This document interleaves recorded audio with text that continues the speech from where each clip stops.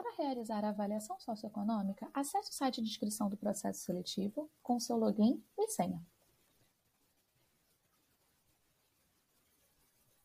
Confira o seu status atual e a data para envio dos seus documentos. Se estiver na sua vez, clique em Revise seus dados para iniciar. Confira se todas as suas informações estão corretas. Você poderá ajustar algo se for necessário. Ao final, clique em Avançar para a avaliação socioeconômica para começar.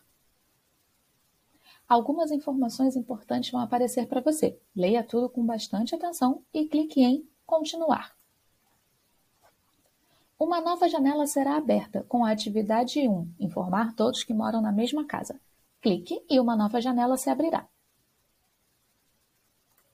Nesse momento, você deverá preencher todas as informações solicitadas, então leia tudo com bastante atenção. Na pergunta de família inscrita no cadastro único, você deve colocar não, pois vocês não são inscritos no cadastro único e não recebem nenhum tipo de benefício do governo, como por exemplo Bolsa Família. Rolando a página mais abaixo, teremos as informações dos pais, onde você deve preencher o nome e a situação do pai e da mãe do candidato. Nesse exemplo, tanto a mãe quanto o pai moram com um aluno. Em valores das despesas, some o total gasto pela família em cada um dos campos.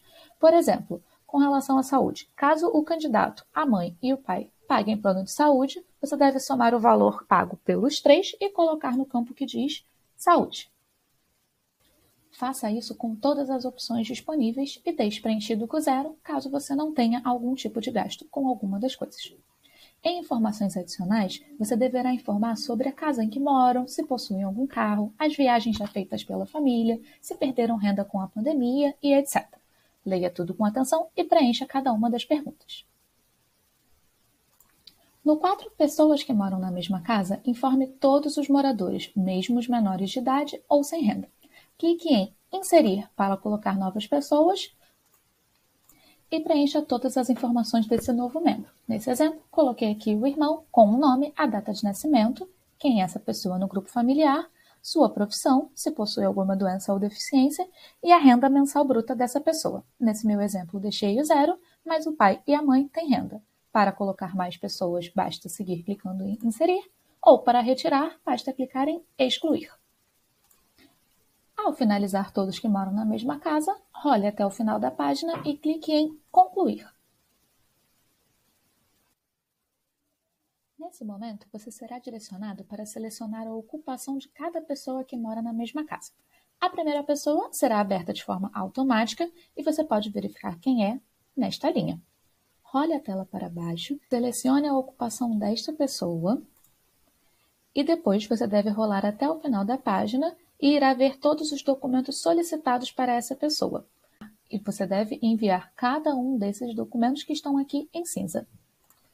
Para isso, clique sobre o documento, depois em Carregar, selecione o documento para ser enviado e clique em Salvar. Irá ficar verdinho. Você deve colocar o máximo de documentos que você tiver, anexando sempre um de cada vez, de acordo com o que cada nome identifica. Após incluir toda a documentação, irá ficar mais ou menos assim. Você deve rolar até o final da página e clicar em Concluir. A janela será fechada de forma automática e você irá retornar para o seu ambiente de trabalho. Nesse momento, você consegue ver todas as outras pessoas que também pertencem à família. Você terá que repetir esse fluxo de selecionar a ocupação e enviar o documento para cada pessoa, cada uma em sua linha correspondente da mãe, do pai, do irmão e etc.